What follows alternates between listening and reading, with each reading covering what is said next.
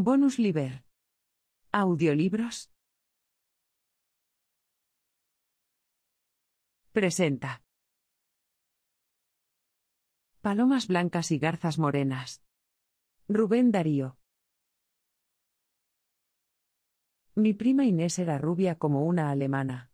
Fuimos criados juntos, desde muy niños, en casa de la buena abuelita que nos amaba mucho y nos hacía vernos como hermanos, vigilándonos cuidadosamente, viendo que no riñésemos.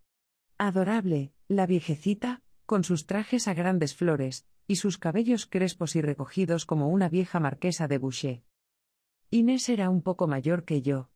No obstante, yo aprendí a leer antes que ella, y comprendía, lo recuerdo muy bien, lo que ella recitaba de memoria, maquinalmente, en una pastorela, donde bailaba y cantaba delante del niño Jesús, la hermosa María y el Señor San José, todo con el gozo de las sencillas personas mayores de la familia, que reían con risa de miel, alabando el talento de la actrizuela. Inés crecía. Yo también, pero no tanto como ella. Yo debía entrar a un colegio, en internado terrible y triste, a dedicarme a los áridos estudios del bachillerato, a comer los platos clásicos de los estudiantes, a no ver el mundo mi mundo emozo, y mi casa, mi abuela, mi prima, mi gato, un excelente romano que se restregaba cariñosamente en mis piernas, y me llenaba los trajes negros de pelos blancos. Partí. Allá en el colegio mi adolescencia se despertó por completo. Mi voz tomó timbres aflautados y roncos, llegué al período ridículo del niño que pasa a joven. Entonces, por un fenómeno especial, en vez de preocuparme de mi profesor de matemáticas, que no logró nunca hacer que yo comprendiese el binomio de Newton, pensé, todavía vaga y misteriosamente, en mi prima Inés. Luego tuve revelaciones profundas. Supe muchas cosas. Entre ellas, que los besos eran un placer exquisito. Tiempo. Leí Pablo y Virginia. Llegó un fin de año escolar, y salí, en vacaciones, rápido como una saeta, camino de mi casa. Libertad. Mi prima, pero, Dios santo, en tan poco tiempo, se había hecho una mujer completa. Yo delante de ella me hallaba como avergonzado, un tanto serio. Cuando me dirigía la palabra, me ponía a sonreírle con una sonrisa simple. Ya tenía quince años y medio Inés. La cabellera, dorada y luminosa al sol, era un tesoro.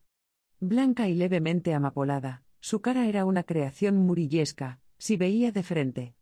A veces, contemplando su perfil, pensaba en una soberbia medalla siracusana, en un rostro de princesa. El traje, corto antes, había descendido.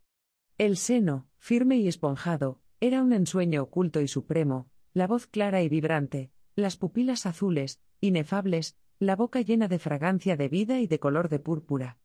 Sana y virginal primavera. La abuelita me recibió con los brazos abiertos.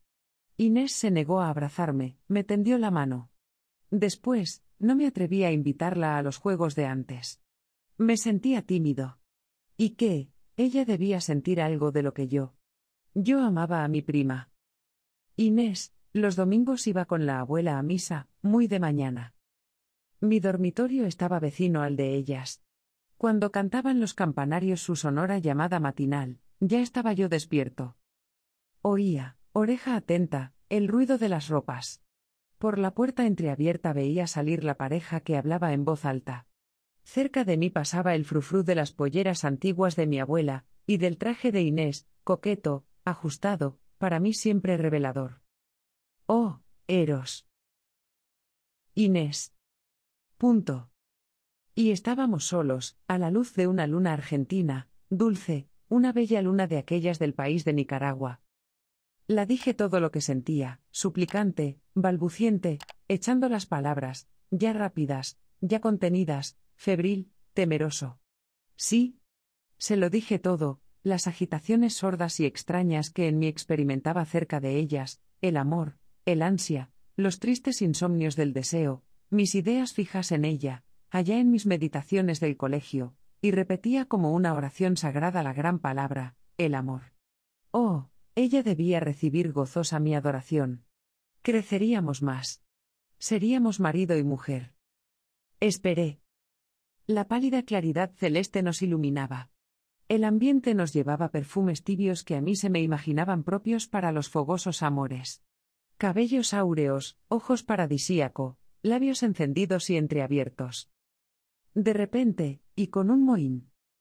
Ve. La tontería. Y corrió, como una gata alegre a donde se hallaba la buena abuela, rezando a la callada sus rosarios y responsorios. Con risa descocada de educanda maliciosa, con aire de locuela. Eh, abuelita. Me dijo. Ellas, pues, ya sabían que yo debía decir.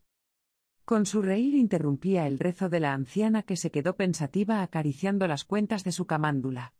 Y yo que todo lo veía, a la husma, de lejos, lloraba, sí, lloraba lágrimas amargas, las primeras de mis desengaños de hombre. Los cambios fisiológicos que en mí se sucedían, y las agitaciones de mi espíritu me conmovían hondamente. Dios mío.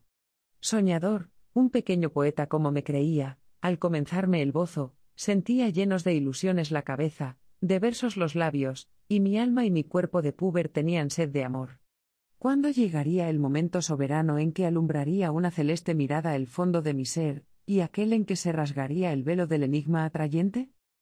Un día, a pleno sol, Inés estaba en el jardín, regando trigo, entre los arbustos y las flores, a las que llamaba sus amigas, unas palomas albas, arrulladoras, con sus buches níveos y amorosamente musicales. Llevaba un traje, siempre que con ella he soñado la he visto con el mismo, gris azulado, de anchas mangas, que dejaban ver casi por entero los satinados brazos alabastrinos, los cabellos los tenía recogidos y húmedos, y el vello alborotado de su nuca blanca y rosa, era para mí como luz crespa. Las aves andaban a su alrededor curucuqueando, e imprimían en el suelo oscuro la estrella acarminada de sus patas.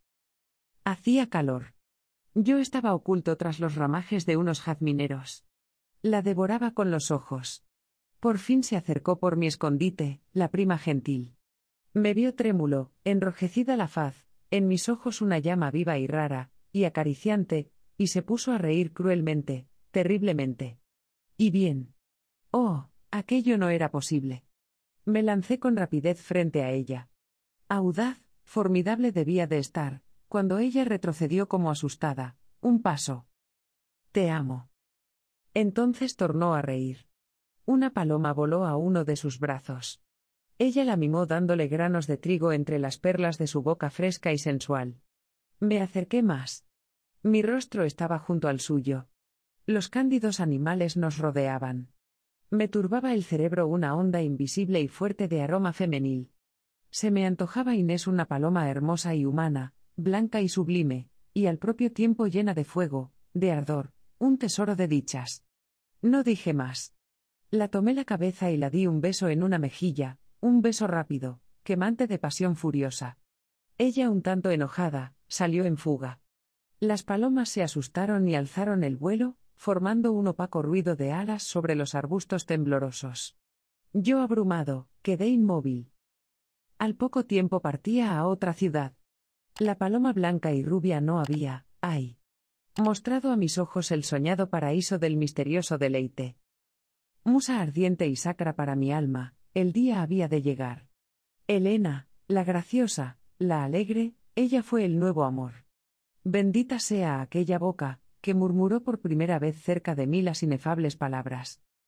Era allá, en una ciudad que está a la orilla de un lago de mi tierra, un lago encantador, lleno de islas floridas, con pájaros de colores. Los dos solos estábamos cogidos de las manos, sentados en el viejo muelle, debajo del cual el agua glauca y oscura chapoteaba musicalmente. Había un crepúsculo acariciador, de aquellos que son la delicia de los enamorados tropicales. En el cielo opalino se veía una diafanidad apacible que disminuía hasta cambiarse en tonos de violeta oscuro, por la parte del oriente, y aumentaba convirtiéndose en oro sonrosado en el horizonte profundo, donde vibraban oblicuos, rojos y desfallecientes los últimos rayos solares. Arrastrada por el deseo, me miraba la adorada mía y nuestros ojos se decían cosas ardorosas y extrañas. En el fondo de nuestras almas cantaban un unísono embriagador como dos invisible y divinas filomelas. Yo extasiado veía a la mujer tierna y ardiente, con su cabellera castaña que acariciaba con mis manos, su rostro color de canela y rosa, su boca cleopatrina, su cuerpo gallardo y virginal, y oía su voz queda, muy queda, que me decía frases cariñosas, tan bajo, como que solo eran para mí, temerosa quizás de que se las llevase el viento vespertino. Fija en mí, me inundaban de felicidad sus ojos de Minerva, ojos verdes, ojos que deben siempre gustar a los poetas. Luego, erraban nuestras miradas por el lago, todavía lleno de vaga claridad. Cerca de la orilla, se detuvo un gran grupo de garzas morenas de esas que cuando el día caliente, llegan a las riberas a espantar a los cocodrilos, que con las anchas mandíbulas abiertas beben sol sobre las rocas negras. Bellas garzas. Algunas ocultaban los largos cuellos en la onda o bajo el ala, y semejaban grandes manchas de flores vivas y sonrosadas, móviles y apacibles. A veces una, sobre una pata, se alisaba con el pico las plumas, o permanecía inmóvil, escultural o hieráticamente, o varias daban un corto vuelo, formando en el fondo de la ribera llena de verde, o en el cielo, caprichosos dibujos, como las bandadas de grullas de un parasol chino. Me imaginaba junto a mi amada, que de aquel país de la altura, me traerían las garzas muchos versos desconocidos y soñadores.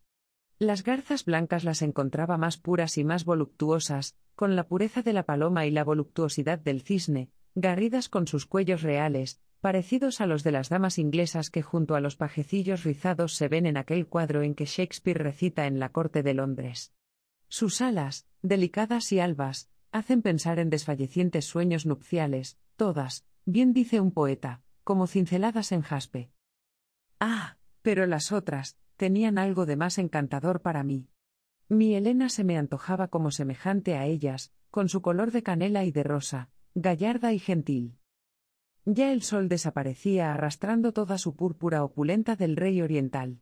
Yo había halagado a la amada tiernamente con mis juramentos y frases melifluas y cálidas, y juntos seguíamos en un lánguido dúo de pasión inmensa.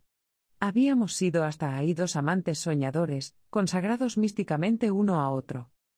De pronto, y como atraídos por una fuerza secreta, en un momento inexplicable, nos besamos en la boca, todos trémulos, con un beso para mí sacratísimo y supremo, el primer beso recibido de labios de mujer. Oh, Salomón, bíblico y real poeta. Tú lo dijiste como nadie, melet lac sub lingua tua. Aquel día no soñamos más. Ah, mi adorable, mi bella, mi querida garza morena. Tú tienes en los recuerdos profundos que en mi alma forman lo más alto y sublime, una luz inmortal. Porque tú me revelaste el secreto de las delicias divinas, en el inefable primer instante del amor. Fin del texto.